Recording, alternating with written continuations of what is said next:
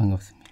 창비입니다. 오늘 먹을 음식은 애물 국물 닭발 준비했고요. 이거는 꼬마 김밥. 그 꼬마 김밥에서도 그 계란 그리고 어묵 그리고 스팸 이렇게 준비했고 오뎅 국물까지 그 장비를 잊지 말아 주시고요. 맛있게 먹겠습니다.